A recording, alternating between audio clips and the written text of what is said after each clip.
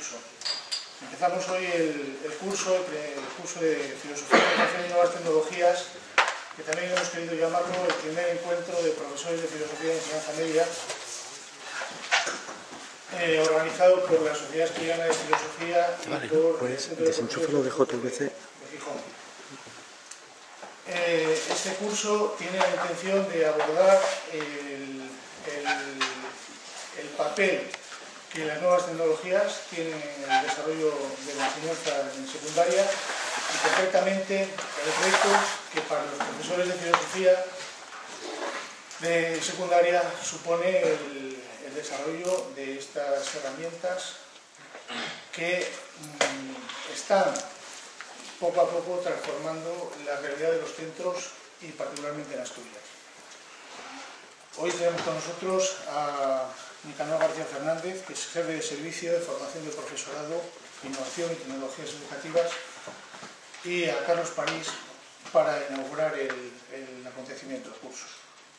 Yo voy a presentar brevemente a Nicanor eh, para decir dos cosas. Primero, que por qué está aquí Está aquí porque desde hace ya unos cuantos años, eh, incluso antes de que las nuevas tecnologías eh, adquirieran este protagonismo que tienen hoy, eh, lleva trabajando en el desarrollo y en, la mejora de, los equipamientos de los centros y fomentando el uso de nuevas herramientas y de nuevos mm, procedimientos educativos en, secundaria. A partir del año 2000 ha desarrollado, ha sido uno de los protagonistas de la integración de las nuevas tecnologías en la enseñanza secundaria y su papel ha sido absolutamente esencial en la gestión eh, no solamente de los recursos nuevos que han llegado a los centros, que en Asturias han sido ejemplares, sino también en cuanto a la gestión de los recursos humanos eh, de que dispone el Principado de Asturias actualmente para el desarrollo de, de esas innovaciones. La educación la historia de la educación tiene tres jalones importantes. Uno de ellos es la aparición de la escritura, otro es el, descubrimiento de la imprenta y otro tercero es el desarrollo de las nuevas tecnologías de la comunicación e información que estamos viviendo en este momento. Estamos ahora mismo en una situación parecida a la que estaban los griegos cuando empezaron a utilizar eh, las herramientas de escritura a estos dos mil y pico años después, en un momento de transformaciones hacia un horizonte que está por definir y que tenemos que definir entre todos. En el ámbito de la enseñanza eso va a traer consecuencias importantísimas y para la filosofía concretamente, para la filosofía particularmente, es un reto extraordinario, tanto desde el punto de vista del desarrollo de los contenidos como del desarrollo de la misma preocupación del ejercicio mismo de la filosofía que nos corresponde a nosotros promocionar en nuestros chavales en educación secundaria.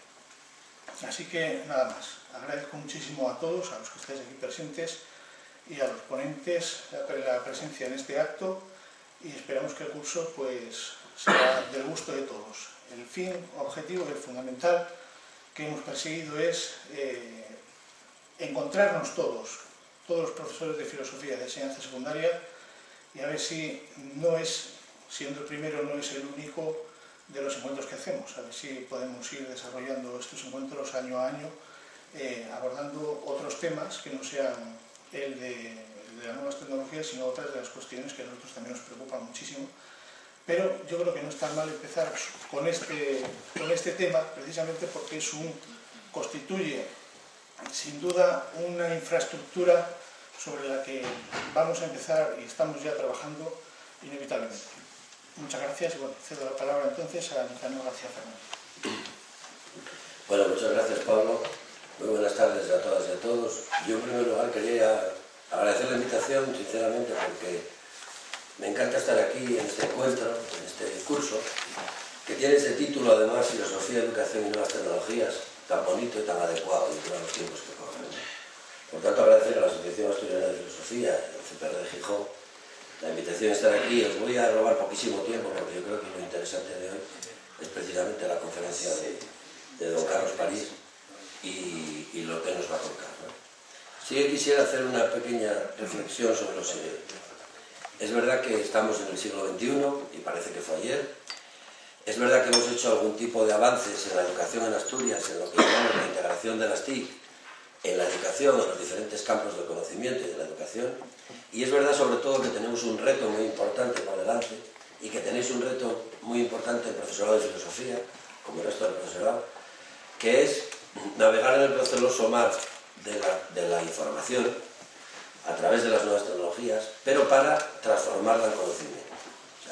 No es solo que las nuevas tecnologías propicien el acceso a la información, que lo hacen, no es solo que el alumnado tenga la inmensa biblioteca mundial, el Internet y el inmenso acceso a la información que se tiene, sino que seamos capaces como profesores de transformar esa información en conocimiento y además en conocimiento crítico, reflexivo y que nos sirva para el aprendizaje de la vida, que le sirva para el aprendizaje de la vida. Desde la Consejería de Educación estamos intentando poner algunos medios y algunos, algunas líneas de trabajo para que eso sea cada vez más posible y para que se acerque cada vez más al siglo XXI. Entre otros, además de los equipamientos que decía Pablo, se lo agradezco mucho porque él es, como sabéis muy bien, coordinador de nuevas tecnologías de un instituto de aquí de Gijón que es pionero en la integración de las TIC y veis lo que tiene, los contenidos que tiene el servidor de su centro y cómo están estructurados, cómo están estructurados los contenidos en cada una de las materias y las asignaturas y cómo hacen los profesores y los alumnos y entiendes en ese centro con ese ejemplo concreto qué es eso de trabajar en formato digital y de acceder a la sociedad del conocimiento en línea, además de utilizar, ¿por qué no?, el libro de texto y otras herramientas y materiales. ¿eh?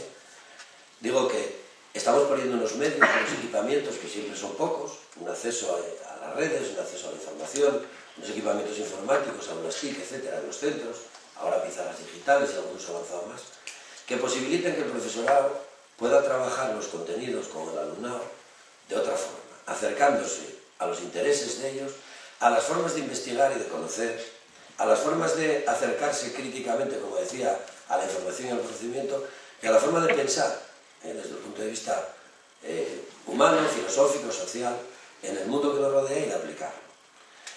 Una de, las, una de las cuestiones imprescindibles precisamente es dotar de medios a los centros. Otra de ellas, y este es un buen ejemplo, efectivamente es incidir en la formación del profesorado y este tipo de cursos con el elenco de ponentes que hay, con las personas que van a intervenir y con los asistentes, es un foro de reflexión muy adecuado de estas líneas. Y otro de ellos, y no es el único, hay varias, esto siempre tiene varias patas que avanzan juntas, muy importante también es el currículo. Estamos transformando, como sabéis muy bien en este momento, intentando transformar el currículo de bachillerato. Hay una propuesta que está sometida a debate público, que acaba el día 15 de abril, en el que se someten en información pues, las modificaciones curriculares que vamos a hacer, que estamos haciendo en el bachillerato en Asturias. Y eh, yo estoy muy contento de que hay una asignatura, en primero de bachillerato, que se llama Filosofía y Ciudadanía. No es solo ya la filosofía, sino que va a dar continuidad, como sabéis muy bien, a los contenidos que se van a venir trabajando en la ESO de Educación para la Ciudadanía, y va a integrar el primero de bachillerato, además de los contenidos puramente filosóficos, los contenidos de formación del alumnado en valores y los contenidos de ciudadanía. Y además de esa asignatura, hay otra asignatura de modalidad también, que es la de siempre, que es Historia de la Filosofía, en segundo de bachillerato. Por tanto, yo creo que es una buena noticia, hay que celebrar que el nuevo currículo nos enfoque hacia este tipo de contenidos, porque lo dicen las orientaciones pedagógicas, que las tengo aquí delante, se propiciará que el profesorado trabaje con acceso a otras fuentes de conocimiento, que trabaje en las bibliotecas digitales con el alumnado, que trabaje con los medios de comunicación, que ya lo venís haciendo, muchos. Estoy viendo ahí a Juan Muñoz y otra gente, o sea, no estoy descubriendo nada nuevo, que gente que lleva trabajando mucho con los medios, con las imágenes, que trabaje con el acceso a la sociedad de la información y que trabaje con el interés del alumnado y con la forma de hacer que tienen, con el saber tecnológico que tienen, en pro de un acceso al conocimiento diferente. ¿eh? un acceso al conocimiento mucho más divertido, más investigador, más crítico y más adecuado a la metodología y a la realidad que tenemos en el siglo XXI. El profesorado de filosofía siempre ha sido eh, muy pioneros y muy innovadores. Pasa lo mismo con el profesorado de idiomas y modestia aparte, yo soy profesor de francés, como digo yo, en mi vida normal. Hay ciertos colectivos de profesores y profesoras que tenemos inquietudes especiales, no sé muy bien por qué. En esto del reciclaje, la innovación, en moverse, Seguramente será también porque nos lo ponen difícil a veces en los currículos, tenemos pocas horas y nos tenemos que buscar la vida. Pero hay ejemplos clarísimos, por ejemplo, muchos coordinadores de nuevas tecnologías son profesores de filosofía, gente que está en la Consejería de Educación, eh, ayer, el viernes nombraron un director general de personal que es profesor de filosofía, Hay gente que tiene inquietudes, que se mueve y que evidentemente eh, se plantea cosas, se plantea cosas eh, eh, dentro de lo que es su, su dinámica de pensamiento y de didáctica normal. Por tanto, es un colectivo muy proactivo y, y en el que tenemos puestas muchas esperanzas en el buen sentido de avanzar, como digo, hacia los currículos del siglo XXI. Y por último, hay un dato nuevo también que implica todo lo demás, que, son, que es el trabajo de las famosas competencias básicas. ¿no? Se supone que en, que en bachillerato ya recibimos al alumnado, habiendo trabajado en la enseñanza obligatoria, una serie de competencias básicas, entre ellas la competencia para la sociedad de la información y competencia digital, llámese uso y manejo de las TIC para acceder a la sociedad de la información, pero también la competencia social y ciudadana, la competencia para aprender a aprender, etcétera, etcétera. Y esas competencias en bachillerato hay que insistir en ellas de manera que sirvan para aprender a lo largo de toda la vida y le sirvan al alumnado para integrarse en la vida adulta, bien en los estudios universitarios o bien en la sociedad y en el mundo laboral. Por tanto, y, y para acabar, eh, estamos en el buen camino con planteamientos como este encuentro y este curso para eh, hacer una reflexión avanzada, yo creo, sobre las posibilidades de integración de las áreas y materias curriculares y de las nuevas tecnologías y las posibilidades que ofrecen para un aprendizaje distinto y adecuado al siglo XXI. Así que nada, ánimo, felicitaros por vuestro interés y vuestro... daros las gracias por estar aquí y yo creo que va a ser un curso, unos encuentros eh, totalmente fructíferos. ¿De acuerdo? Muchas gracias.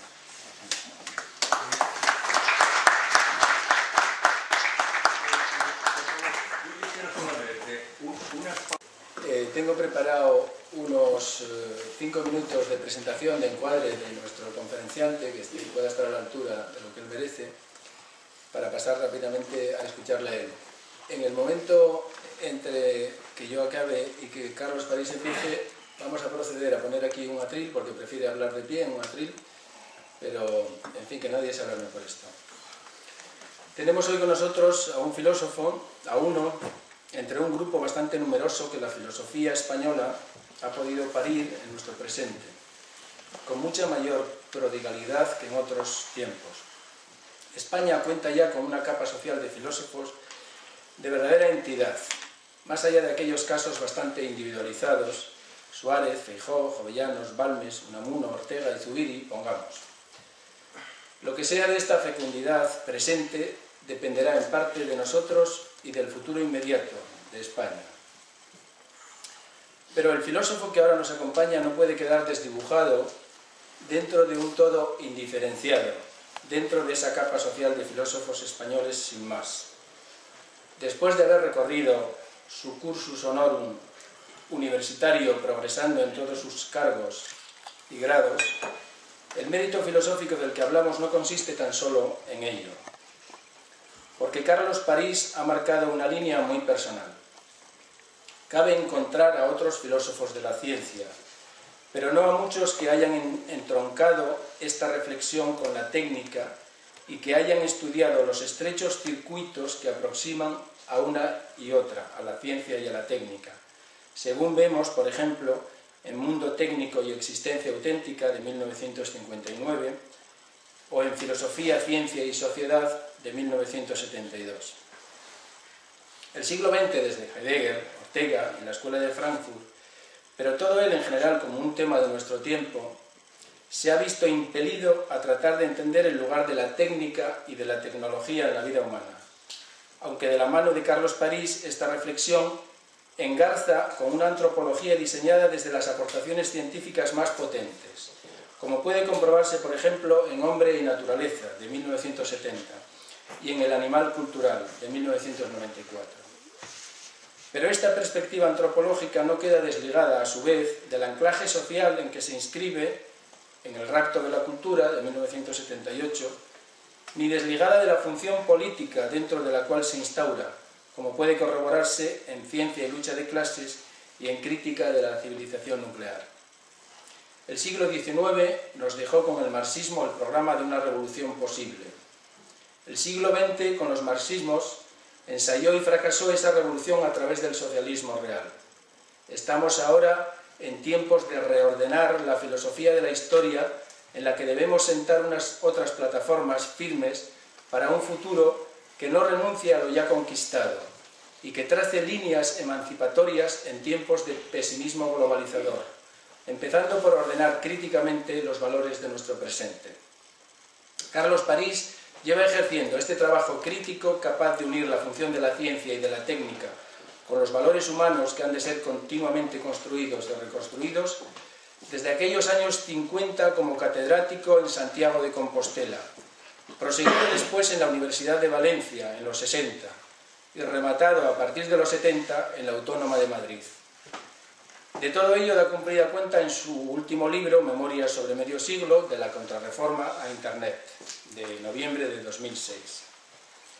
Tenemos que hablar de filosofía y de educación y ambas han de ser, si quieren ejercer la función profunda en la que adquieren su pleno sentido, enteramente revolucionarias, es decir, críticas, transformadoras y emancipadoras.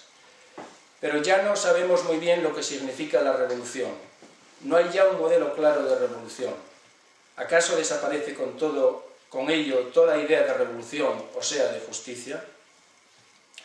Si perdemos el pie que nos prestaba el siglo XIX y el XX, deberíamos ir quizás a tomar tierra en el XVIII y allí poder volver a la idea de una revolución a través de la educación, idea que ya era por otra parte de Platón. No seré yo quien crea que la tarea de la justicia se asienta solo sobre el pobre pilar de la educación. Si el XIX y el XX desmienten la posibilidad de una revolución, el XVIII y toda la tradición filosófica anterior desmienten que la educación pueda ser el elemento transformador radical de la sociedad.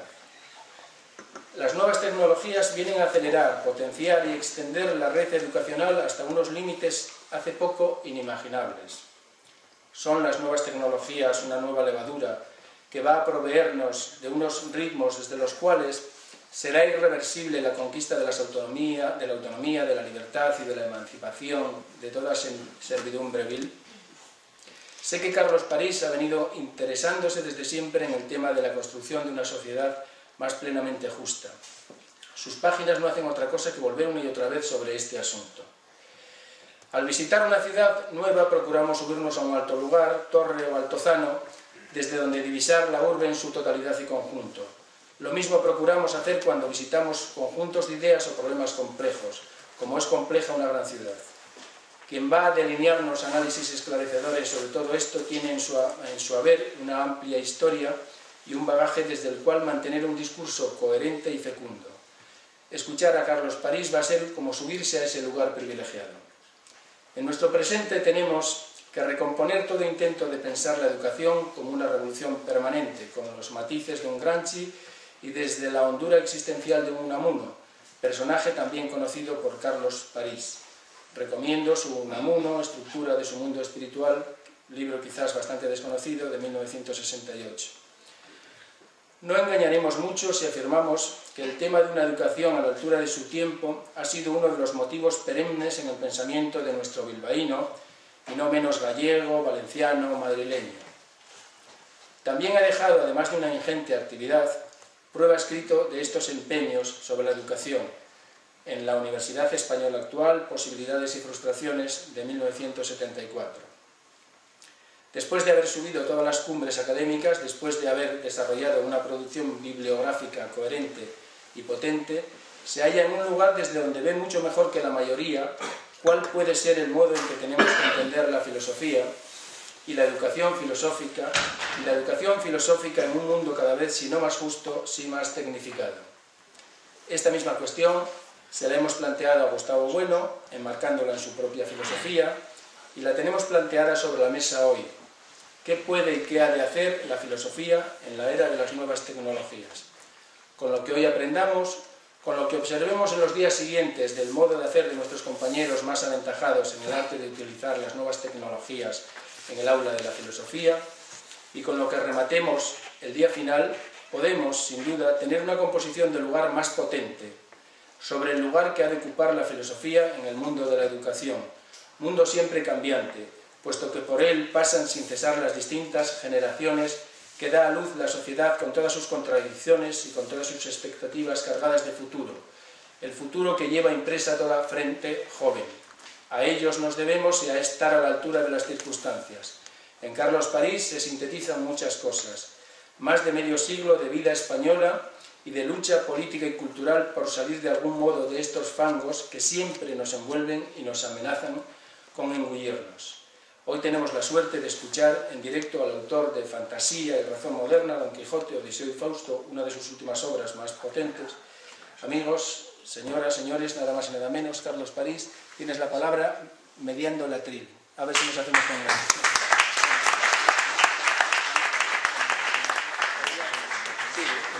hay un atril, comentaron si lo queríamos como tú te encuentras... Bueno, ustedes perdonarán, este, es que me resulta realmente más agradable la movilidad que permite el estar de pie que el estar encajonado en una silla y además puedo dirigirme a la totalidad del auditorio y comunicar con él con más, con más facilidad y es mi costumbre hablar de pie.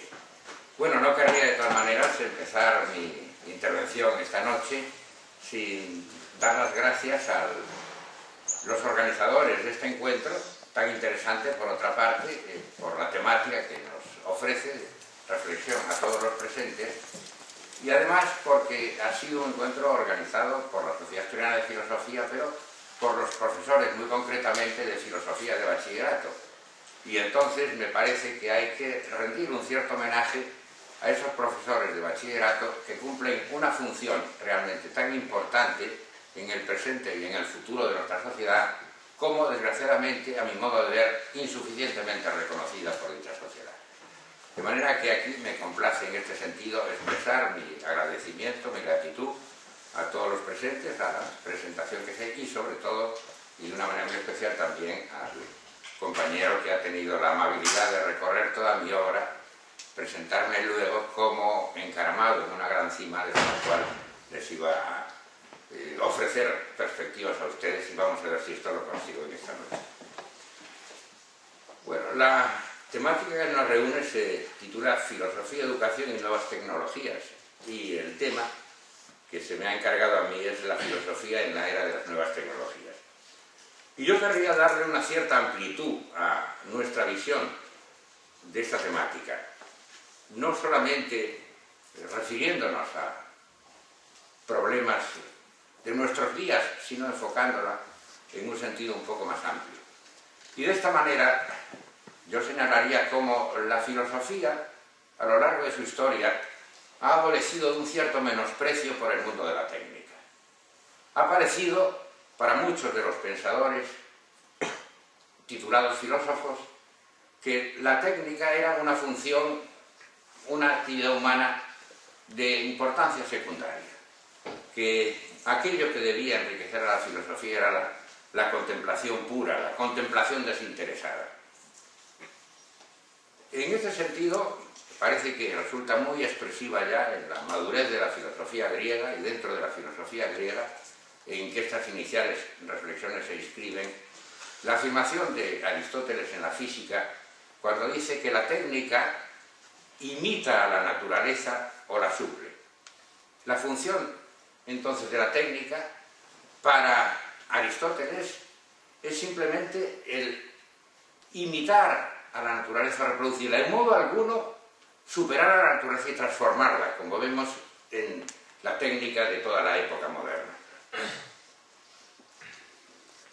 Indudablemente que esta idea va unida a la visión de la filosofía como pura contemplación, y aquí podríamos recordar la anécdota que precisamente, sí, es de las cosas que aprenden todos los alumnos de bachillerato cuando se les cuentan los orígenes de la filosofía y como Tales de Mileto se cayó en un agujero por ir contemplando los cielos y entonces provocó la risa de las muchachas que lo estaban contemplando. Yo creo que realmente esta es una anécdota que simboliza un poco la historia de toda una determinada tradición filosófica que mirando fuera de la realidad terrestre, en lugar de poner los pies sobre la tierra, entonces cae en el abismo, cae en las profundidades de la torpeza, de tropezar y de olvidarse de la realidad más inmediata que nos rodea. Pero a nadie se le escapa que conozca mínimamente el mundo griego y tenga una visión eh, marxista de dicho mundo, cómo esta desvalorización de la técnica en la filosofía dominante en Grecia está determinada por la posición social de grande parte de los filósofos griegos. es eh, la postura de las clases dominantes. El trabajo manual, el trabajo material, unido a la técnica, es considerado en el mundo griego como algo propio de los esclavos, de los demiurgos, que también tienen una posición secundaria dentro de la ciudad, dentro de la polis, o de las mujeres, vistas también con desprecio dentro del patriarcalismo que caracteriza la cultura griega. Entonces, el ser superior, el hombre libre, aquello que tiene que dedicarse es a la discusión en el ágora, a la guerra y a la contemplación, pero no a trabajar con sus manos y modificar la realidad que a todos nos rodea. Esta es, diríamos, la tendencia dominante en el pensamiento griego, pero ciertamente no es la única. No podemos tener una visión tan simplificadora de lo que fue el mundo griego. Evidentemente, hay toda otra contracorriente que correspondería no al pensamiento dominante, a las clases dominantes del pensamiento griego, como fueron Platón, Aristóteles, todos estos grandes filósofos clásicos, sino que corresponde a una corriente de carácter popular. Podríamos verla iniciada en Hesíodo, en los trabajos y los días, en toda la obra de Hesíodo. Para Hesíodo, en efecto, el hombre no es solamente un homo teórico, un zon teoreticoso, un zon logo, como era para Aristóteles, sino que los hombres son comedores de pan. Se fija entonces Hesíodo en las necesidades primarias del ser humano, y es el hombre que trabaja los campos, entonces también, es el agricultor. Y toda esta corriente iniciada en Hesíodo la encontramos expresada también en la tragedia griega, la tragedia griega que eh, a compás de la filosofía y a contracorriente de la filosofía expresa los sentimientos populares. Recordemos en efecto el coro de Antígona, en el cual se canta el poderío del ser humano para navegar sobre los mares, para eh, domar a los animales, para crear viviendas, aquello que también nos aparece en el Prometeo, encadenado, aunque en el Prometeo es algo que transmite Prometeo a los en el coro de Antígona es una obra de los seres humanos mismos. De modo que nos encontramos ya con esta corriente valorizadora del mundo de la técnica, de la capacidad de actuar sobre la naturaleza y resolver nuestras necesidades primarias, a contrapunto de esta otra corriente puramente teoreticista, puramente contemplativa, propia de las clases dominantes que ven las manos humanas como algo no destinado al trabajo.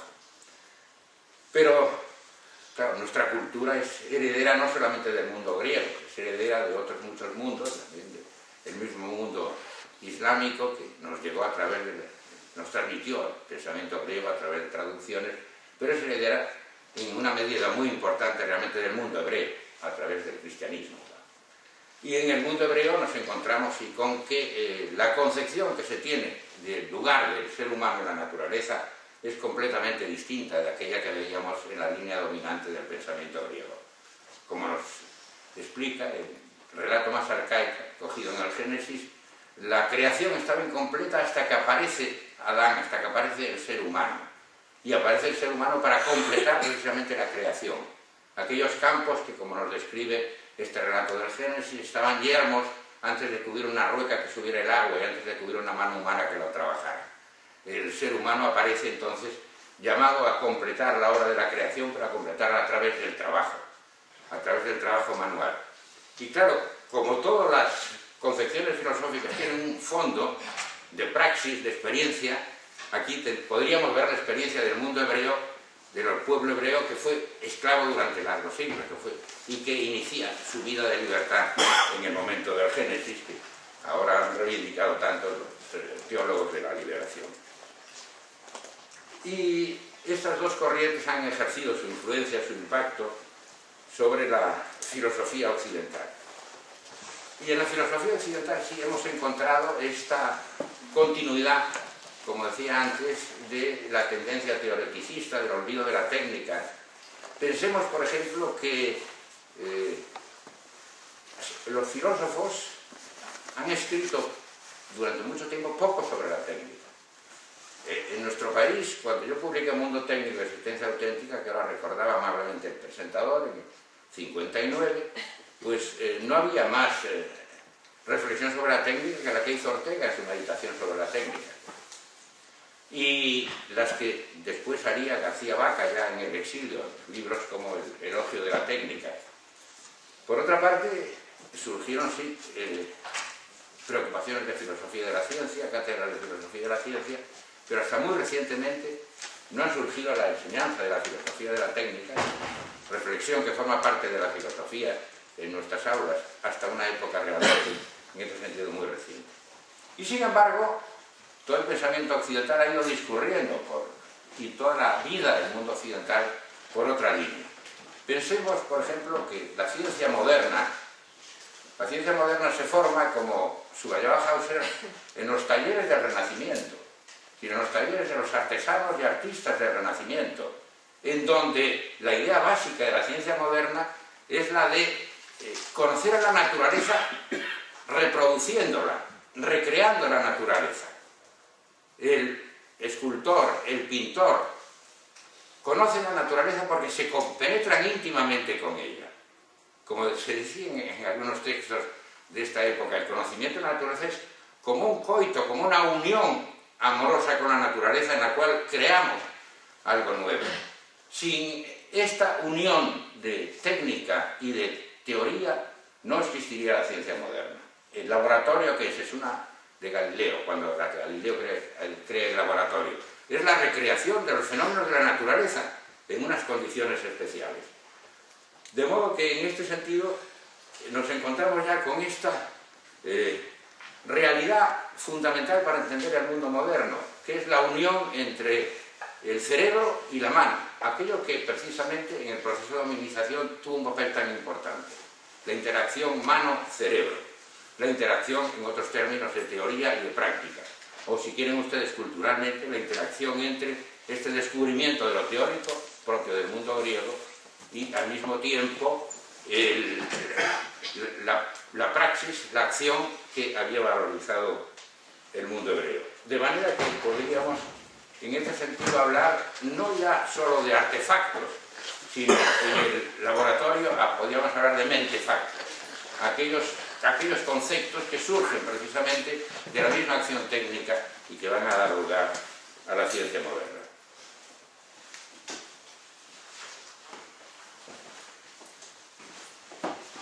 Y ya será en el siglo XIX cuando nos encontremos con eh, dentro del pragmatismo, con afirmaciones en el campo filosófico de la importancia que tiene la acción humana y a la cual no puede eh, mantenerse ajeno el pensamiento filosófico, Franklin ya define al ser humano como homo faber, eh, toolmaker y tool using, es decir, no solo el que utiliza instrumentos, sino el que fabrica instrumentos. Pero quizá la visión más clarividente y más transformadora de esto la encontramos en el conocido, eh, la conocida afirmación de Marx en la tesis 11 sobre Feuerbach. Hasta ahora los filósofos se han dedicado a contemplar el mundo. Lo que importa es transformarlo, transformar el mundo. Y esta transformación del mundo precisamente es aquello que eh, en mis reflexiones más recientes, el último libro que estoy escribiendo, me planteo como problema ético. Es decir, nosotros transformamos el mundo y creamos un mundo a medida de lo humano.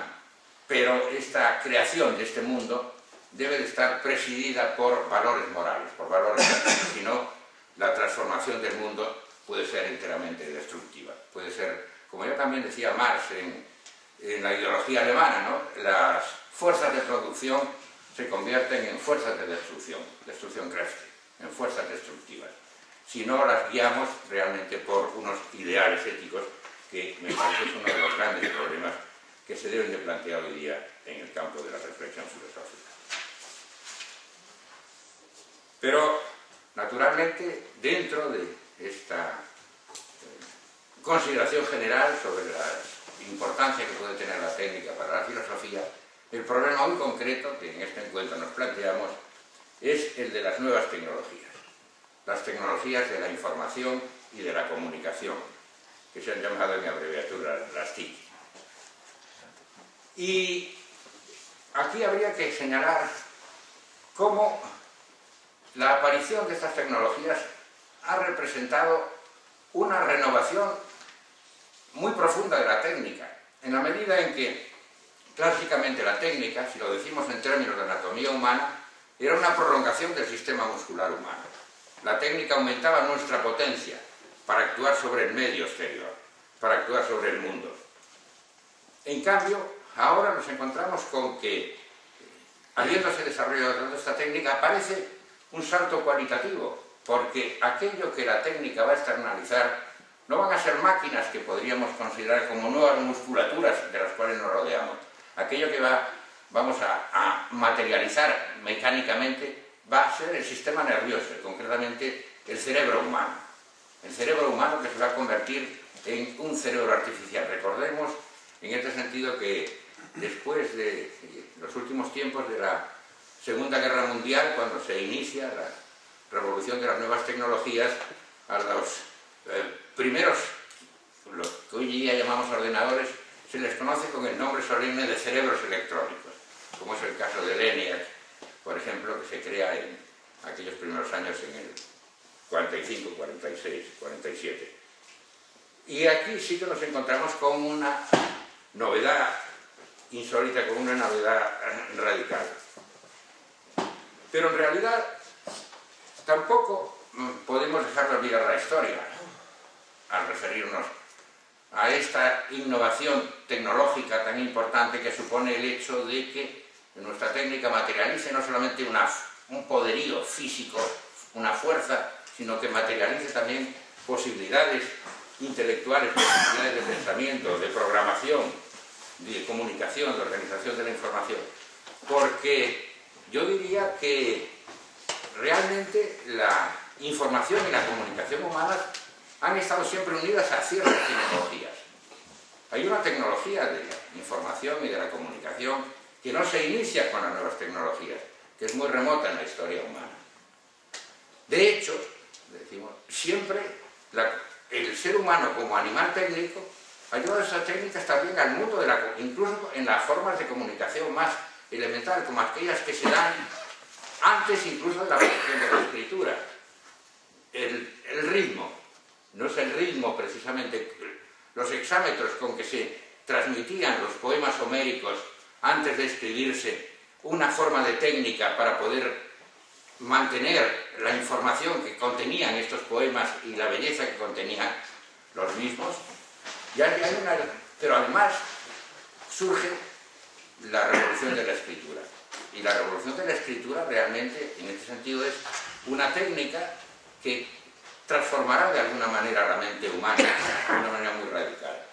En efecto, si la comunicación humana, la transmisión de información y de emociones se tenía que realizar antes de la escritura mediante un contacto personal directo, mediante el encuentro físico, ahora en cambio nos encontramos con el prodigio, no olvidemos que esto representó en la historia de la conciencia humana, con el prodigio de que aquello que escribimos, aquel mensaje que tenemos en mente, lo podemos escribir y entonces va a cabalgar por encima de los siglos este mensaje y va a cabalgar por encima del espacio, el espacio y el tiempo que limitaban la comunicación humana al encuentro presencial con la terminología que hoy día se maneja tanto, ahora se convierte en un mensaje general. Bueno, a mí, de hecho, contando alguna anécdota, por ejemplo, pues me resultó muy emocionante el hecho de que un amigo, profesor de Historia del Arte, me contaba que yo fue a visitar a un colega en, en Varsovia y entonces al entrar en su casa se encontró, y perdone la manera que estaba leyendo un libro mío traducido al polaco. Entonces yo pensé, claro, realmente que, eh, lo que es la escritura que permite que una persona desconocida y no remota en el tiempo, éramos coetáneos, pero sí tan distanciada en el espacio, sin embargo, comunique y reciba las ideas que yo he tratado de transmitir en este texto. Y entonces la conciencia humana va a sufrir una transformación, como antes indicaba, porque la primera conciencia humana está absorbida por el colectivo, por la tribu. Esta conciencia tribal se va a descomponer emergiendo crecientemente la conciencia individual. Y esto es lo que eh, culminará realmente con la aparición de la imprenta.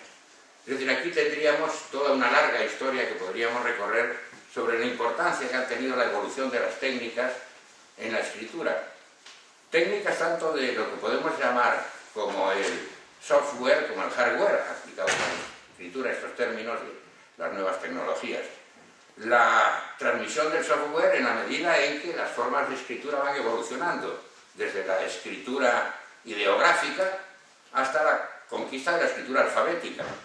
Eh, la importancia que ha tenido la escritura alfabética, por ejemplo, para la democracia griega, ha sido estudiada por varios autores, entre otros por mi eh, colaborador Tomás Pollán en su tesis doctoral, en una tesis muy brillante. Gracias a la escritura alfabética, en efecto, a diferencia de la escritura silábica, hay una lectura única de un texto determinado. No hace falta una casta de intérpretes para corregir el texto. Entonces, esta importancia de la objetividad, esta eh, claridad contundente de la expresión escrita, rompe esta estructura del el mediador entre el pueblo y el texto, que era la, la clase sacerdotal que desaparece en el mundo griego. Y tiene múltiples efectos sobre toda la cultura griega. De modo que aquí tendríamos una evolución que no es, claro, naturalmente ahora eh, posible detallar desde la escritura ideográfica hasta eh, la aparición de la escritura alfabética. Pero no menos importante la evolución del hardware, de la estructura, desde el elemento que se utiliza para escribir, desde un pincel inicialmente, hasta las teclas del actual ordenador, ¿no? pasando por la pluma, la pluma de ave, la estilográfica, la aparición del bolígrafo, etcétera, etcétera. Y el material sobre el cual se escribe, ¿no? desde la piedra en que se graban las inscripciones hasta la aparición del papiro, del papel. La importancia, por ejemplo, que tuvo la difusión del, papel en la Edad Media es enorme. Muchos investigadores la han relacionado con la aparición de las universidades. la difusión del papel permitió precisamente la difusión de aquellos libros de aquella época y entonces estuvo unida a la creación de las universidades. Pero sobre todo la revolución de la imprenta es aquella que introdujo una innovación en el mundo de la escritura y en la conciencia humana verdaderamente profunda. Pensemos en la revolución de la imprenta, con ella podemos decir que al difundirse la lectura del libro, aparece por primera vez lo cual ya llamamos el espacio virtual. Y quizá ninguna obra históricamente ha recogido la atracción de este espacio virtual mejor que nuestra gran obra cervantina, la de Don Quijote de la Mancha, cuando vemos de qué manera un personaje puede quedar absorbido por el mundo de la imaginación que ha brotado, entonces no de una pantalla como en nuestros días, sino que ha brotado de la lectura de los libros de caballería.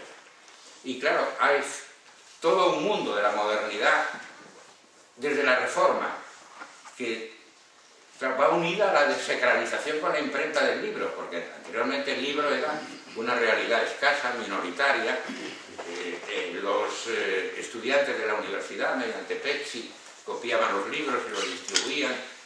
Realmente la clase medieval, como ustedes saben muy bien, era fundamentalmente era un comentario del libro, los comentarios de Aristóteles, los comentarios de la Biblia, era comentar un libro como algo casi sacralizado, continuando en este sentido lo que han sido las famosas religiones del libro, ¿no?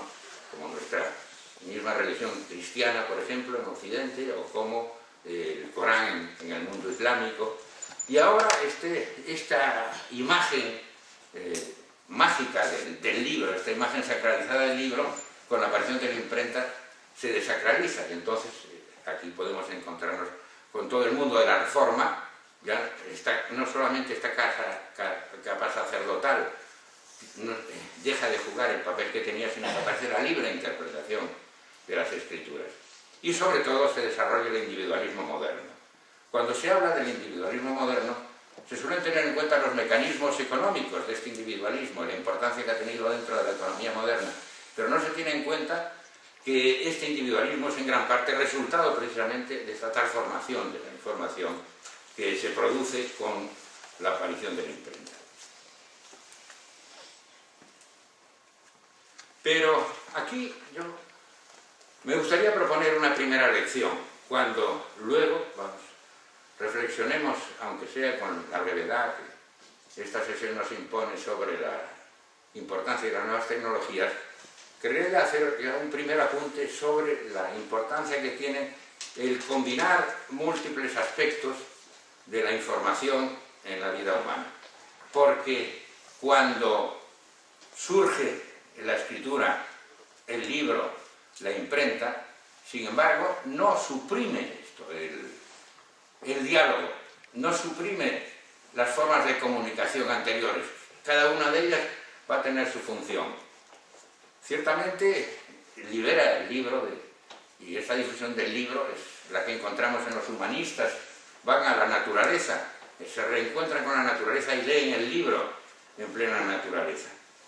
Pero aquí vemos de qué manera ambas cosas se combinan. Por ejemplo, en Grecia, no podemos olvidar cómo eh, Platón hace su obra mediante diálogos. Y antes, Sócrates, Sócrates eh, es el gran filósofo de Occidente que sin embargo nunca escribió, que mantuvo esta forma de comunicación anterior a la aparición de la escritura.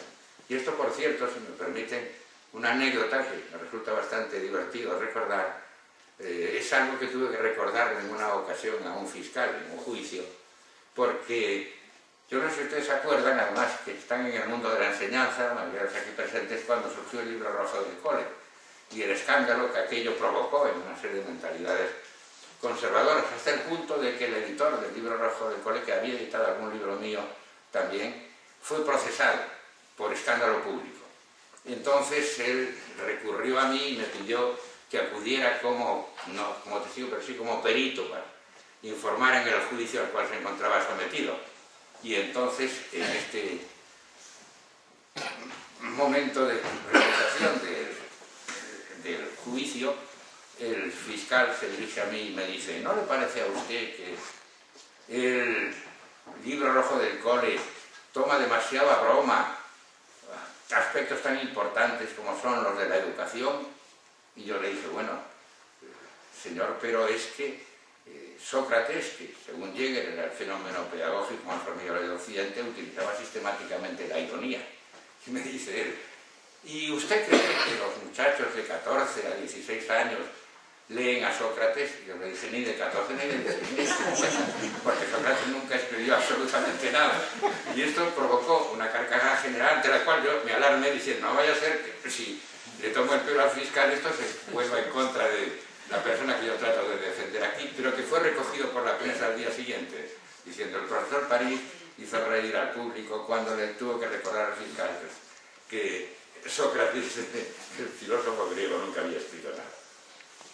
Y hay un texto muy curioso que yo esta mañana recordaba hablando con Pablo Buerga, según el cual, aunque no recuerdo ahora en, en dónde está este texto exactamente, pero le aparece un personaje leyendo el teatro y y entonces otro le recrimina y dice, pero ¿cómo se te ocurre leer el teatro? El teatro es para verlo, es para representarlo. Y claro, es que hay esas dos, estas dobles posibilidades. Es que el, el mundo de la comunicación, el mundo de los mensajes, puede jugar con combinaciones y posibilidades muy distintas. La Asociación de Autores de Teatro, por ejemplo, pues ha dedicado varios números, en uno de ellos me pidió mi colaboración al problema del teatro leído el teatro, además de representarse, es algo que puede ser leído.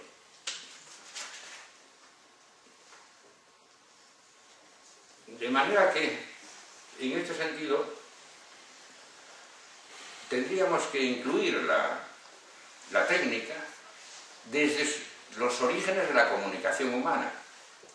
Esa técnica que nos aparece hoy con las nuevas tecnologías como si el haber ganado este terreno de la información y de la comunicación fuera una novedad absoluta, cosa que no lo es. Y aquí yo también me gustaría hacer una, una crítica de Habermas, eh, filósofo pues, de todos conocido y que ha tenido tanta difusión y tanto eco, a veces, a mi modo de ver, exagerado, en nuestro ambiente español. Cuando Habermas contrapone la acción instrumental y la acción comunicativa y presenta la acción instrumental como algo ligado a la técnica, y en cambio la acción comunicativa, y además lo critica como un tipo de acción inferior desde el punto de vista ético y propone la observación del mundo en lo que él llama la acción comunicativa. Como... Pero claro, es que aquí habría que tener en cuenta que según lo que venimos indicando, según esta reflexión, la comunicación también tiene su tecnología. Y no solamente tiene su tecnología, sino que la comunicación además, en lugar de ser algo tan transparente y tan noble, que como en lugar de ser una especie de república angélica, el mundo de la comunicación es el mundo precisamente más dominado hoy día, y sobre esto tendremos ocasión de insistir a lo largo de estas reflexiones, más dominado hoy día por la manipulación y por el poder. Y además es la nueva forma de poder con la cual, sin necesidad de violencia, se convence a las conciencias. Ya Marcuse, en El hombre unidimensional, anunciaba que en el siglo XXI no haría falta la violencia para dominar a los seres humanos, bastaría con el poder de los medios de comunicación. Desgraciadamente, esta violencia no ha desaparecido. Esta violencia física, ahí la tenemos presente todos los días. Recordemos lo que es la guerra de Irak, Afganistán, etcétera, etcétera. La, la violencia de las armas sigue existiendo, pero hay otra violencia no menos sutil y sin embargo más extendida y realmente muy eh, decisiva para, el término que yo para domesticar a las masas, que es la violencia utilizada por los medios de comunicación para tergiversar y dar una información interesada, sesgada de la realidad. Hasta el punto de que Popper, filósofo, no ciertamente ni marxista ni izquierdista, sino representante del pensamiento liberal, llega en un momento a decir algo tan radical como que la televisión es incompatible con la democracia. Afirmación que deberían de, tener en cuenta y discutir algunos de los, de los popperianos. Ahora bien, lo que todo esto hemos venido reflexionando nos abre pues el campo de el que tiene que ser el objeto más directo de nuestra reflexión hoy, que es el campo de las nuevas tecnologías. Ya, como antes indicaba inicialmente, estas nuevas tecnologías han ganado para el terreno de la técnica, el mundo de la información y de la comunicación, pero dándole un desarrollo y una potencialidad que no tenían aquellas viejas técnicas de la escritura, etcétera, etcétera, a las cuales me he referido. Y aquí convendría entonces eh, también hacer una pequeña historia de cómo se ha ido desarrollando todo este mundo de las nuevas tecnologías y yo querría al respecto señalar la importancia que tuvo la aparición de la cibernética. La aparición de la cibernética, que podríamos representar de alguna manera en 1948 con la aparición del libro de Wiener, eh, Cybernetics. Y en este sentido la figura de Wiener, así como la de Rosenbluth, que la acompañaba, o de Rosalvi y otra serie de figuras, y anteriormente la teoría de la información, son las bases sobre las cuales se irá asentando el desarrollo de las nuevas tecnologías. es muy curioso que precisamente la cibernética, que define Wiener, que todo es conocido como ciencia del control y de la comunicación en el ser, en, en la máquina y en el animal, esta ciencia nueva y esta técnica nueva surgió de la Segunda Guerra Mundial del tiro antiaéreo, surgió de la necesidad de precisar el tiro antiaéreo, lo cual requería entonces procesos de información y de eh, feedback, de reacción sobre la máquina que disparaba contra los aviones. Y así, bueno, si tenemos en cuenta el mundo en que estamos viviendo, yo diría que en, gran parte, y esto tiene aspectos importantes, es un mundo resultado de la Segunda Guerra Mundial, en algunas de sus mayores aportaciones. Desde el punto de vista científico, el siglo XX, el siglo que hemos dejado atrás, tuvo toda una primera parte de desarrollo científico que estuvo presidida por la revolución física, la teoría de la relatividad y la teoría cuántica, y ella condujo todo este desarrollo de los primeros 50 años del siglo XX, condujo a la aparición de la energía nuclear. La energía nuclear que ha sido tan importante tanto desde el punto de vista bélico como desde el punto de vista de su posible y discutida utilización civil como fuente nueva de energía. Y esto se inscribiría además dentro de las aportaciones, como decíamos, que desgraciadamente, con esto no pretendo decir que las guerras sean fuente de progreso, pero sí que puede ser un factor de aceleración de determinados progresos que sin embargo vienen marcados por, la, por las guerras, es lo que yo llamo el, principio cairológico, basándome en el, en la idea de Marx, de que la humanidad no se plantea en cada momento más que los problemas que puede resolver. Con lo cual, eh, en la lectura que hago de este texto, quiere decir que hay momentos críticos, eh, de aquí la idea del principio cairológico, el río de Kairos, oportunidad, momento, momento crítico, hay momentos en los cuales un problema se plantea con urgencia, pero no solo con urgencia, sino al mismo tiempo con una madurez suficiente como para poderlo resolver.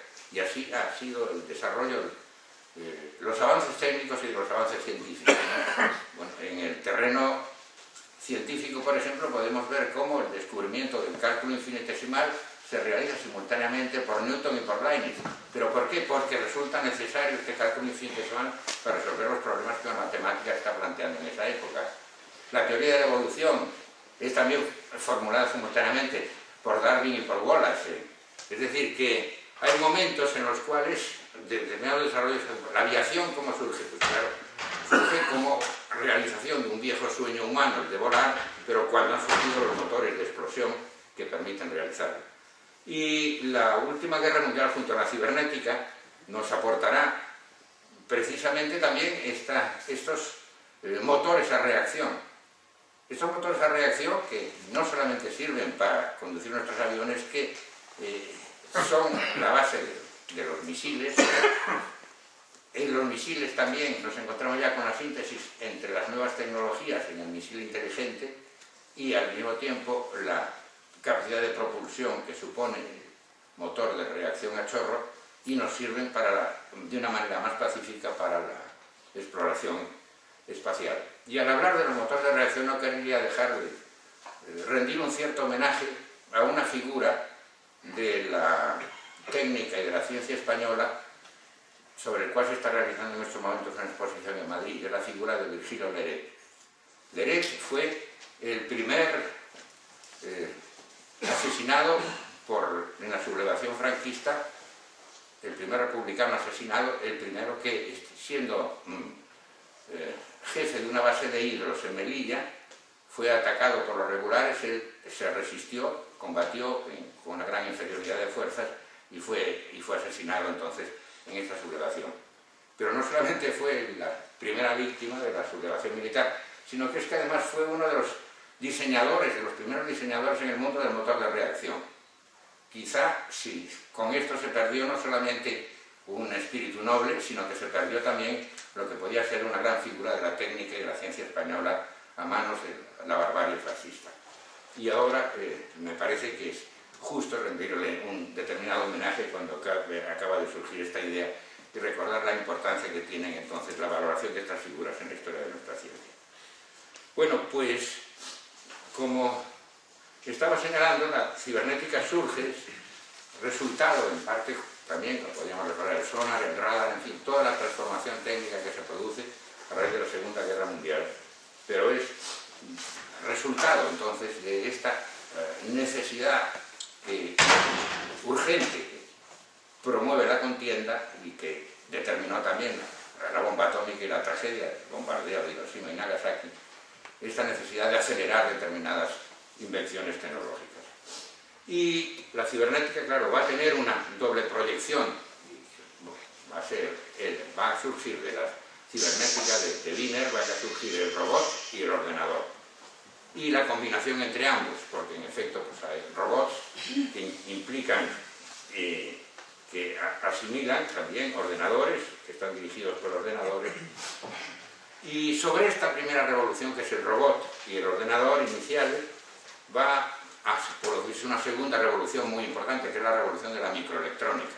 Entonces, cuando eh, eh, en estos aparatos, antes aludía yo a Leniak, por ejemplo, aquellos primeros ordenadores que se llamaban cerebros electrónicos, que ocupaban espacios inmensos, ahora gracias a la microelectrónica, entonces a los circuitos integrados y a los transistores que sustituyen a las válvulas de vacío con que funcionaban estos primeros ordenadores se van a convertir en un instrumento de dimensiones muy reducidas que utilizamos en la forma de PCs, de personal computer, todos actualmente en nuestra casa y que incluso se van a trasladar al mismo eh, teléfono móvil en este constante e incesante desarrollo de las nuevas tecnologías.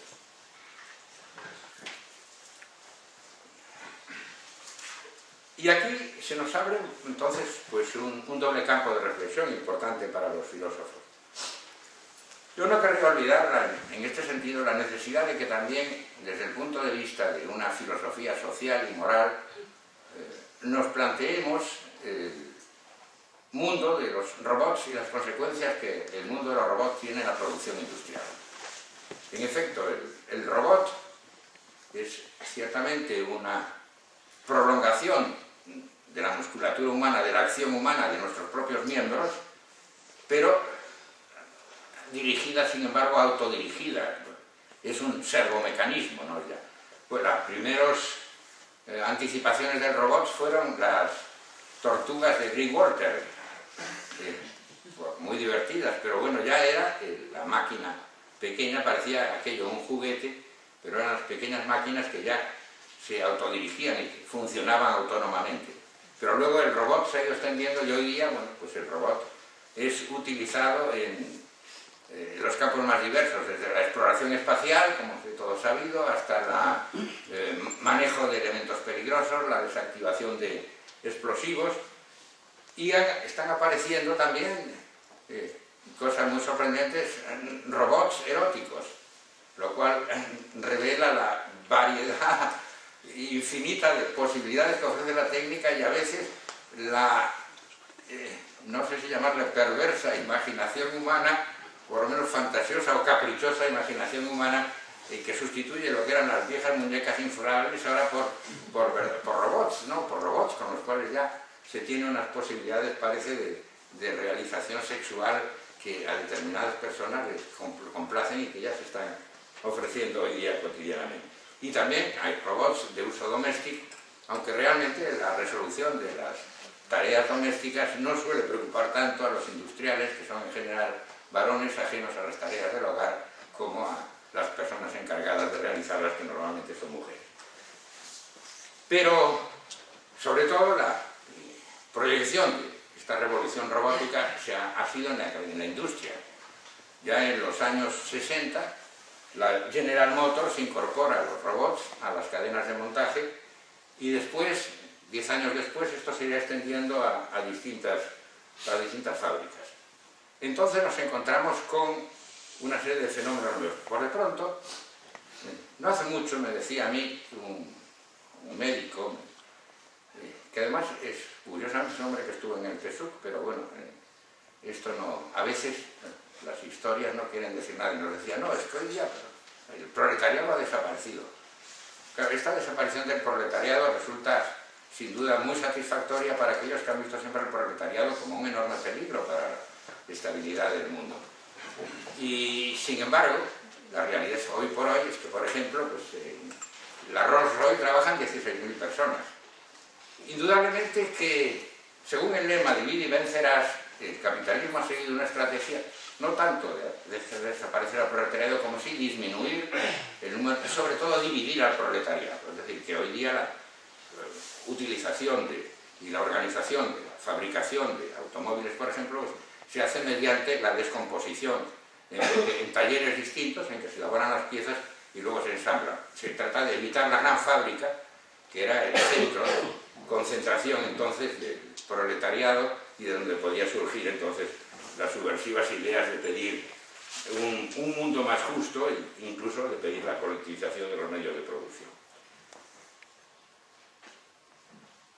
Pero indudablemente que si pensamos no solo en la situación actual, en que además hay otro gran problema, y es el problema de lo que está apareciendo como proletariado es el tercer mundo.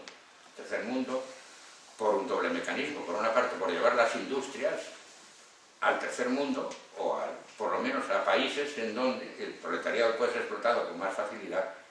Por cierto que cuando se habla del dominio proletariado, deberíamos aducir otro dato muy importante, que me refería a las 16.000 trabajadores de las eh, de la Rolls Royce. Pero ¿qué me dirán ustedes de los 250 millones de niños y niñas que trabajan en condiciones de esclavitud en, talleres textiles en todo el mundo? Porque si entramos en un, eh, un almacén de Nueva York, nos encontramos con, de vestir a precios enormemente baratos, por menos, bueno, más baratos que en España, frecuentemente. Pero si ustedes examinan el producto ven que dicen Made in Hong Kong, Made in Filipinas, Made in Panamá. Es decir, que es todo el tercer mundo el que está trabajando en ese sentido y según los datos que, que poseemos, llega hasta el número de 250 millones el de niños y niñas que trabajan en talleres en jornadas interminables y sin poseer libertad ninguna. De modo que esta es la dinámica que ahora queda solamente aquí apuntada, porque no tenemos tiempo de detenernos en ella, pero es la dinámica eh, con que eh, nos encontramos cuando hablamos de la desaparición del proletariado. Pero yo a lo que sí que me querría referir es entonces a los horizontes del futuro. A los horizontes del futuro porque supongamos que este desarrollo de los robots aumenta, de manera que esta idea de la desaparición del proletariado si hoy día es una exageración e incluso una manipulación ideológica, pero se puede convertir en algo muy próximo a la realidad. Entonces, claro, nos encontraríamos ante dos horizontes completamente distintos en esta posibilidad. En uno de ellos nos encontraríamos con que gran parte de la humanidad se convertiría en lo que Lipovetsky ha denominado desechos humanos, que al ser los robots los que trabajan, una gran parte de la humanidad se encuentra sin posibilidades de trabajo ni posibilidades prácticamente de supervivencia. Como escribió Finkelhammer, muy directamente, hoy día ser explotado es un privilegio. Era la situación y aquí convendría también recordar que con todo esto lo que se está cumpliendo es una ley que ya formuló Marx, de evolución del capital. Recuerden ustedes la composición orgánica del capital según Marx. Está formado por capital variable y capital constante. El capital variable es la mano de obra, son los trabajadores, el capital constante es el equipamiento. Y ya Marx indica cómo la tendencia del capitalismo es aumentar el capital constante y reducir el capital variable. Entonces, esto que presentamos como una novedad absoluta, lo que es es la realización precisamente a través de las innovaciones tecnológicas de aquel ideal del capitalismo.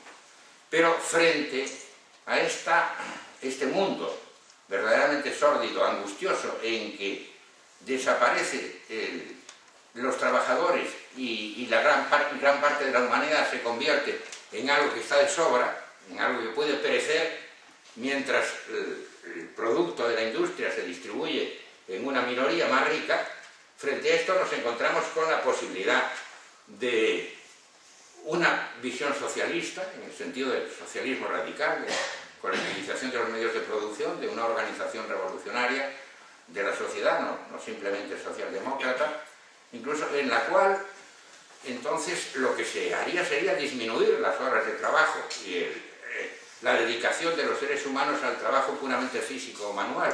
Y esto podría representar una verdadera elevación cultural de la humanidad. Aquello que yo en uno de mis libros, que el título antes lo recordaba, no había presentado, El rapto de la cultura, el arrebato de la cultura, que es un fenómeno humano, al cual todos los seres humanos tienen derecho por parte de una minoría poderosa, esto se rompería y podría toda la humanidad entonces sí realizarse una verdadera revolución, una verdadera transformación de los seres humanos. No solamente, yo diría que, claro, ha impactado, como estamos comentando, eh, los robots, aparte de estas fantasías que estamos diciendo, ocupaciones marginales en el mundo de la producción, también en el sector de servicios. En el sector de servicios, pues, aparecen las nuevas tecnologías y empiezan a desplazar puestos de trabajo. Hoy día llamamos a un número determinado, 900 tal, tal, tal, llamamos al teléfono. Y entonces no nos contesta una voz humana, nos contesta una máquina. Y nos dice, si quiere usted, hable, marque el 1, marque el 2, marque el 3, marque el 4. Entonces usted marque el 1, el 2, el 3, el 4, entonces corta la comunicación. Esta es la eficacia que tiene algunas de las nuevas tecnologías. Y queda usted en imposibilidad de poder hablar. Pero otro, eh, otra experiencia que también resulta curioso recordar aquí porque nos lleva un mundo hacia el cual es posible que caminemos, es la de los hoteles de carretera. Yo no lo he encontrado en España, pero sí en otros países. Pues, para usted el coche en la carretera y entonces se encuentra con un hotel, pero para entrar en el hotel lo que tiene que hacer es sacar la tarjeta de crédito, entonces le dan una clave, toca la clave, luego que ha tocado la clave le dicen el número de la habitación a que va y entonces acuesta usted sin haber encontrado a ningún ser humano por ahí. Afortunadamente cuando me levanté para desayunar vi algunos bichos de la especie Homo sapiens que pululaban por allí, pero la primera impresión es, es esta, que verdaderamente no deja de ser... Parece que... Y, claro, por ejemplo, esto ha afectado mucho en el sector servicios, por ejemplo, pues ¿qué, ¿qué, diferencia hay? No es lo mismo ser atendido por una máquina que ser atendido por una secretaria, que tiene una sensibilidad, una capacidad de matices que normalmente la máquina no tiene. Pero también esto está determinando otra crisis en el sector de los servicios. Bueno, y entonces, eh, ahora, pues, convendría hablar de, del ordenador después de haber aludido al robot. Decíamos que eran las dos grandes eh, direcciones en que la cibernética había proyectado sus Bueno, el, el, ordenador también, este término de ordenador cumple realmente, cubre un campo enorme de realizaciones muy diversas. Bueno, tenemos por una parte estos ordenadores que todos manejamos en nuestra vida cotidiana, que nos acompañan, tenemos la utilización de los ordenadores en la enseñanza, esta mañana, precisamente con Pablo, estaba viendo cómo realizaban una clase por ordenador aquí en, en Asturias, en donde se ha procurado introducir todas las, desarrollar al máximo las nuevas tecnologías dentro de la enseñanza. En el trabajo profesional, en, el ocio y, como luego indicaré, en el desarrollo científico. Bueno, entonces yo me plantearía eh, tres aspectos en que me parece importante reflexionar sobre eh, el ordenador como representante de las nuevas tecnologías. Una de ellas es la de la utilidad real, la importancia que pueden tener como auxiliares. Otra, las perspectivas es la de la comercialización, la manera, manera en que la comercialización perturba lo que sería un libre, normal desarrollo, precisamente de todo este mundo. Y en tercer lugar, el mito, la mitificación. Bueno, es evidente que el ordenador, en primer lugar, estos ordenadores que todos manejamos, no me refiero ya a los ordenadores a los cuales aludiré, que, de que se hace uso en la ciencia, este ordenador, a mi modo de ver, tiene una ventaja sobre todo decisiva, que es la capacidad de almacenar información. La capacidad de almacenar información es extraordinaria. Esta mañana, cuando estaba viendo precisamente el examen, yo comentábamos este hecho, ¿no? Yo decía, bueno, ¿qué diferencia hay con un examen tradicional con eh, unas cuartillas y un papel? Bueno, claro, antes, yo todavía tengo mi casa llena de carpetas, ¿no? De carpetas inmensas en las cuales, ya polvorientas, en las cuales me eh, horroriza el meterme, aunque no tengo más remedio que meterme en ocasiones, pero ahora todo es queda, no ya en un disquete, y luego hablaremos de la desaparición también de los disquetes, sino ya en un lápiz, en donde se contiene una cantidad de información enorme. Y luego, pues claro, evidentemente el ordenador nos sirve para escribir con la facilidad de corregir, de, transformar el texto, de manipularlo.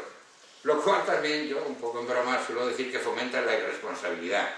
Porque antes se hablaba de la, terror de la page blanche, que decían los franceses.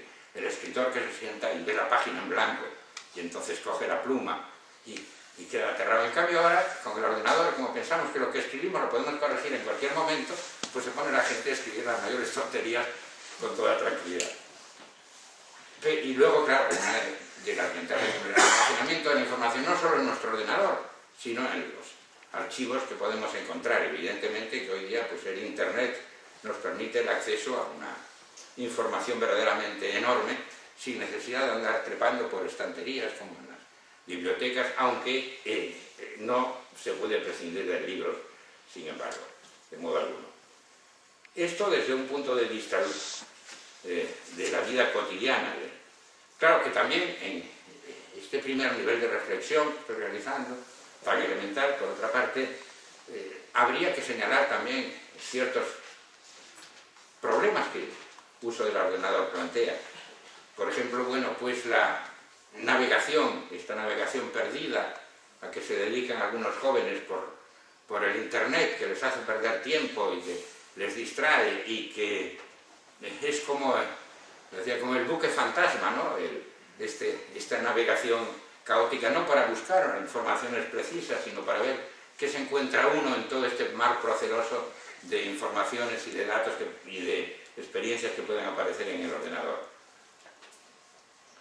Y, por supuesto, claro, hay un problema es el de la adicción, ya sea, porque aquí, claro, nos encontramos ante una nueva realidad para el ser humano. Hablábamos antes del libro, pero ahora hay una realidad que es la pantalla.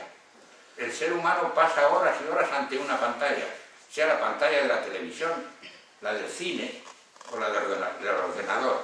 Y claro, esta presencia de la pantalla, antes decíamos que el libro se lo llevaban los humanistas a la naturaleza, leemos paseando, etc.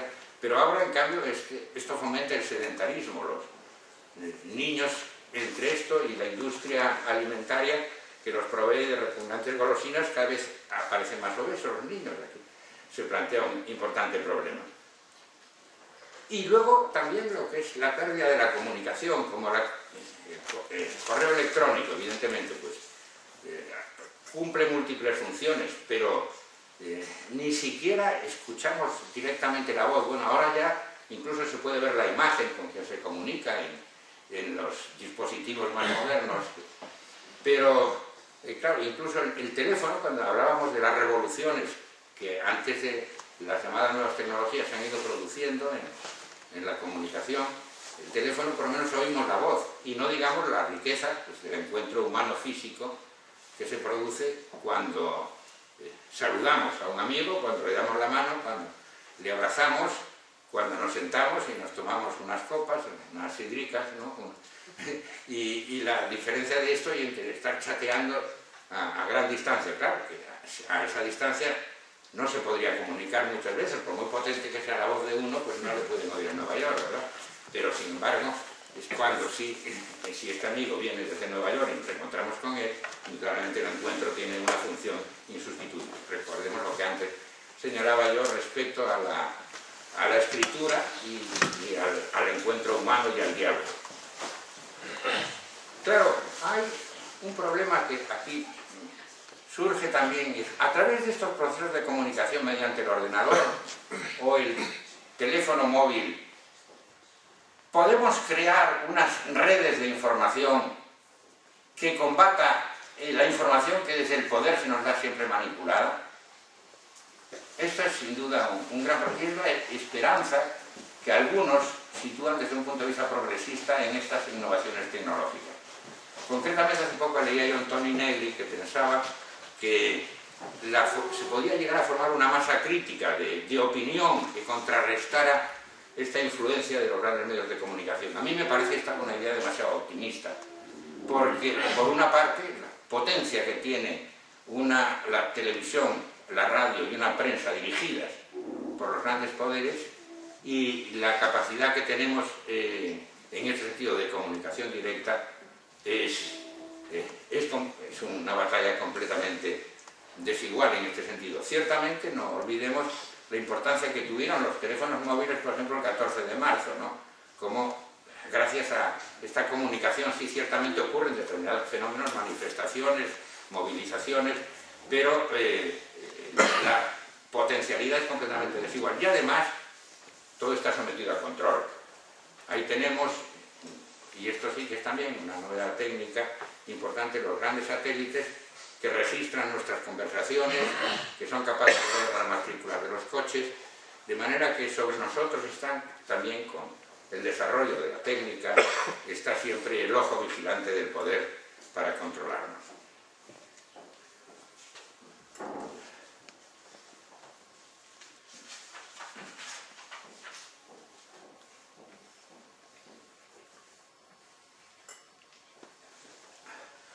Y entonces voy a tocar otros dos aspectos para... Supongo que ya les tengo a ustedes sumamente cansados y aburridos, pero todavía querría tocar unas últimas consideraciones antes de dar por terminada esta intervención. Hablaba de esta utilización de los ordenadores, pero muy rápidamente, claro, simplemente cuatro apuntamientos de, algo que además espero que se va a realizar a lo largo de estos días en análisis más eh, detenidos y, más holgados de tiempo. Pero hay un problema que me parece muy importante, que es el de la comercialización a que todo este mundo está sometido. Bueno, el lanzamiento de las nuevas tecnologías estuvo precedido, además, por toda una propaganda de lo que iba a ser el futuro de estas empresas.com. Y y la gente se apuntaba a estas acciones como la última novedad, el último grito que les iba a enriquecer. Y recuerdan ustedes la crisis que precisamente la crisis de las empresas.com que tuvo consecuencias inevitables sobre toda la bolsa. Pero aparte de, esto ya en el mundo bursátil y empresarial, eh, en el mercado nos encontramos, no en el mercado bursátil, sino en el mercado comercial, nos encontramos con determinadas estrategias que convendría tener en cuenta y denunciar. La estrategia que siguen las empresas productoras de ordenadores y de teléfonos móviles eh, utilizan una doble estrategia de la, del progreso retenido y de la obsolescencia. El progreso retenido porque hay novedades que no se lanzan, claro, es hasta que no se ha agotado el, producto anterior, el modelo anterior. Cuando se haya agotado el modelo anterior es cuando se... Pero además incluso se anuncian antes, de modo que ahora nos encontramos con compradores que ante el anuncio, antes de que puedan adquirir el producto ya, se apuntan a, recibirlo en su momento. Y, y luego además hay un fenómeno que han estudiado algunos como, por ejemplo, en su eh, la cultura del nuevo capitalismo, Senen, un sociólogo de los Estados Unidos, pero hay un fenómeno muy curioso que es lo que llamaríamos la superoferta, no en el sentido de inundar el mercado, sino en el sentido de ofrecer productos que se ofrecen prestaciones que quedan muy por encima de las posibilidades mismas del comprador. De modo que, por ejemplo, bueno, en los mismos ordenadores, y en, los teléfonos móviles. Utilizamos un 20% de sus posibilidades. Sin embargo, el ofrecer realmente, el almacenar una cantidad de música, por ejemplo, el otro día lo leía ¿eh? en una información que venía en la misma prensa diaria sobre esto, se puede almacenar una cantidad de música que en toda la vida humana no se podría escuchar. De manera que eh, se está ya rozando lo que es la, la pura seducción a través de la propaganda, características en este sentido de, del mundo del consumismo. ¿no? Y además, eh, eh, luego viene una, toda una fenomenología de, influencia del grupo, del sector, que es especialmente visible en los jóvenes. ¿no? Si uno adquiere un aparato novedoso, los demás se consideran a menos si no tienen también un aparato como el del anterior. De manera que aquí eh, nos encontramos, el mundo del consumismo, como ustedes saben, viene largamente ya desde los años 20 y tiene su explosión en los años 50 y 60 en el neocapitalismo, en el capitalismo de consumo, y ahora nos encontramos con esta otra nueva faceta del, del consumismo, en que además eh, lo que se produce es la gratificación del ego.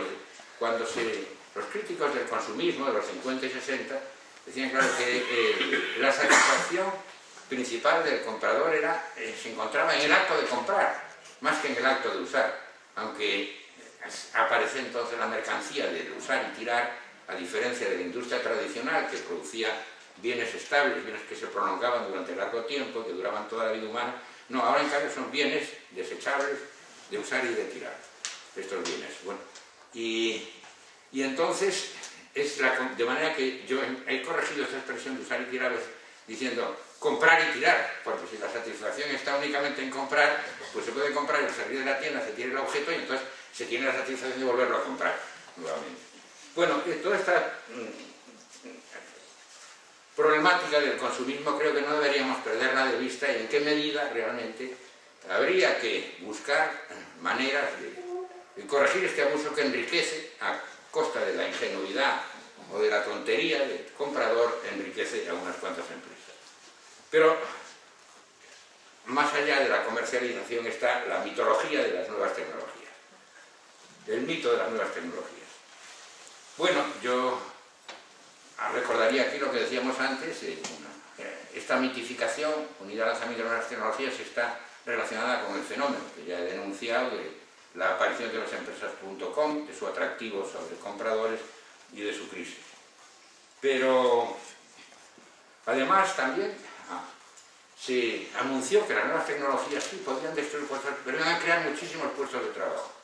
Esto es lo que recoge un libro de Castells, por otra parte, viejo amigo mío, y de Alonso Zaldívar, también amigo mío, incluso este segundo compañero en el Comité Central durante algún tiempo, hasta que Santiago Carrillo lo echó de allí, y entonces ya actualmente embajador en, Cuba. Y en este libro ofrecen unas perspectivas de, los puestos de trabajo que va a crear las nuevas tecnologías que luego resultaron completamente ficticias, que no se cumplieron en modo alguno.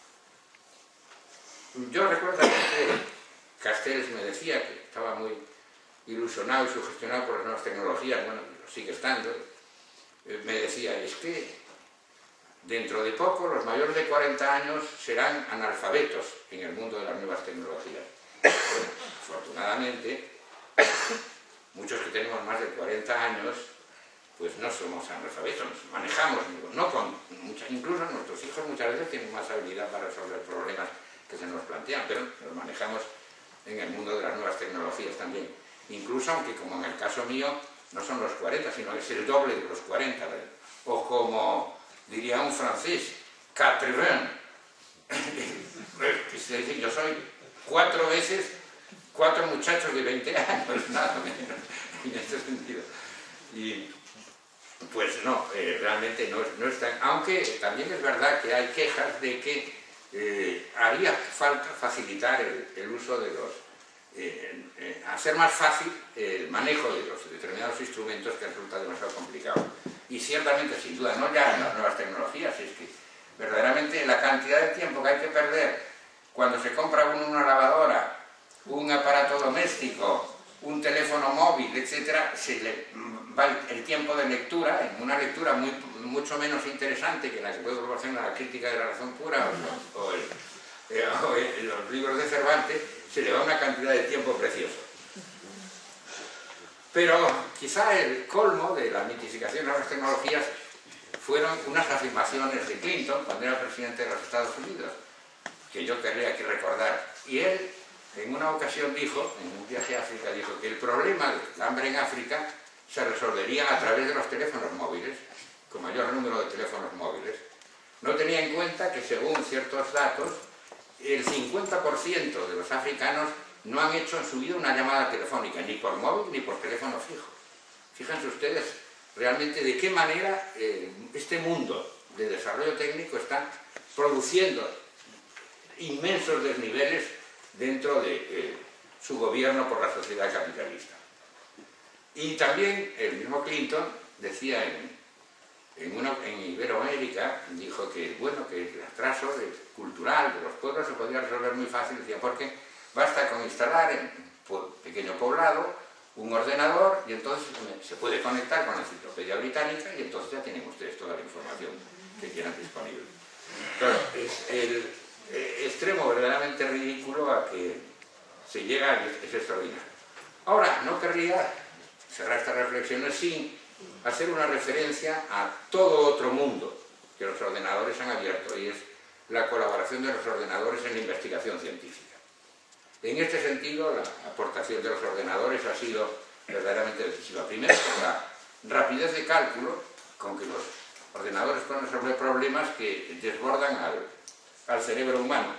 Pero es que además ya se ha creado el, el llamado científico robot, Poroskin, en 2004. Es un robot que no solamente realiza experimentos, sino que los interpreta e incluso propone nuevos experimentos.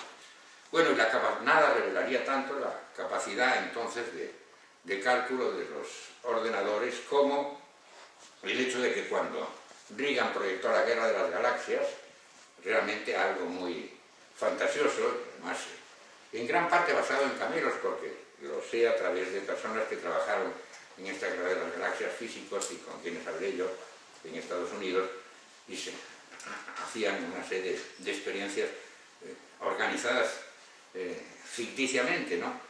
Porque, por ejemplo, bueno, pues los cañones que, especiales que tenía la Guerra de las Galaxias se dirigían contra un avión y conseguían que el avión explotara, pero resulta que es que el avión había sido ya programado para que explotara en ese momento, aunque no estuviera, aunque no consiguiera darle en el blanco eh, aquellos, eh, aquellos cañones o misiles que organizaban la guerra. Pero cuando se planteó la guerra de las galaxias, se llegó a la conclusión de que solamente un ordenador podría dirigir esta guerra de las galaxias, porque superaba la capacidad de cualquier cerebro humano. Y aquí nos encontramos con el, el gran problema de lo que puede ser la alienación técnica dentro de, este mundo. Es decir, que confiemos en la solución de nuestros problemas a las máquinas.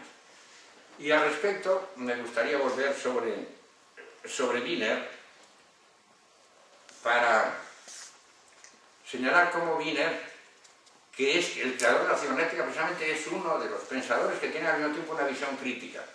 Por ejemplo, él en Cybernetics dice cómo este desarrollo que se está produciendo de la comunicación y de los medios de comunicación técnicos puede ser muy peligroso en la medida en que pueden caer en manos, y caerán en manos, de los más poderosos y estos los van a utilizar a su servicio para manipular a la sociedad. Y en otro de sus libros, Ghost in Golden, él señala cómo el ciudadano y la ciudadana media están perdiendo su capacidad de sentido crítico y depositan entonces su confianza en un ser humano o en una máquina en lugar de, pensar por sí mismos. De modo que, en este sentido, yo, ya no tenemos tiempo de entrar, más que muy de pasada y yo a los problemas de la inteligencia artificial, pero sí querría terminar estas reflexiones volviendo a aquello que sugería al referirme a la posibilidad de combinar aspectos de la vida humana, de combinar la escritura con el diálogo, combinar ahora el ordenador con el libro, combinar entonces eh, la información que nos da el ordenador y el manejo del ordenador con el libro, con el diálogo, con la intervención del profesor, con la comunicación directa necesaria también entre el profesor. No hay que pensar en que las máquinas van a sustituir, ah, van a sustituir las máquinas, históricamente han sido siempre un complemento del ser humano. Miquel y Menard son dos autores que escribieron hace ya unos no muchos años, pero hace unos años, un libro que se titulaba Le Ruiz de la Técnica. Un libro realmente muy interesante. Y en él describen cómo la técnica, después, como la, después de haber desmitificado toda una serie de realidades del mundo humano y social, se ha convertido en el gran mito la técnica. El mito que nos posee. Quizá la figura de Fausto, como comento en uno de mis últimos libros y que ahora el presentador recordaba también en Odiseo Quijote y Fausto Fausto, en, la segunda parte, representa este patos de la técnica y de alguna manera anticipa el mundo de la globalización, un mundo uniformado y regido por la técnica. Yo creo que en este sentido el protagonismo de los seres humanos es algo que no se puede perder. Antes yo acabo de aludir, ahora esta idea de Birne viene de inquietante de que eh, las nuevas tecnologías pueden caer en manos de, los más poderosos y aumentar entonces su poder. Yo entonces pienso que el único mito en que deberíamos creer no es en el mito de las máquinas o la técnica, el único mito que podemos creer es el mito de la patria, entendida la patria en el sentido que le da Bloch al final de su libro. Dice, es aquello que hemos visto en la infancia, la patria es el mundo de una sociedad justa en que los seres humanos se realizan y sobre todo en que aquello que nos caracteriza a los humanos, hombres y mujeres, es el desarrollo de nuestra racionalidad y de nuestra libertad. Y entonces, en la medida en que todo el desarrollo técnico esté puesto al servicio de esta sociedad igualitaria y esta sociedad en que planetariamente se desarrolla la libertad y la igualdad, entonces es cuando podremos obtener todos los frutos de este desarrollo tecnológico. Muchas gracias.